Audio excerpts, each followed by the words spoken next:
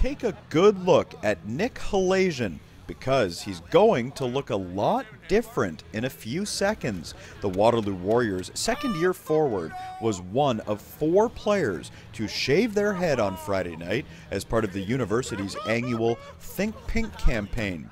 Halasian cut off more than seven inches of hair to raise money for the Canadian Breast Cancer Foundation, and he's got a very personal reason for contributing to a great cause my aunt had uh, cancer this past year, and uh, it's something special that's uh, uh to me, anyways.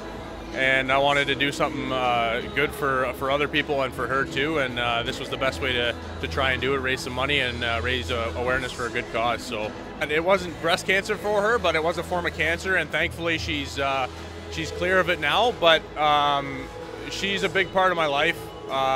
family's a big part of my life, and and and uh, it's it's it's very meaningful to me, and um, I just hope it's I hope it can show her how much I uh, I care and, and love her. This is the 10th year for the Warriors Think Pink fundraiser, and it was a huge success once again. This year, the men's hockey team raised over $4,000.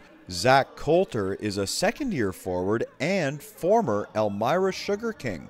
His head was shaved by Warriors superfan and Waterloo economics professor Mary Ann Vaughn. Oh, she was awesome. Really good. Yeah, good.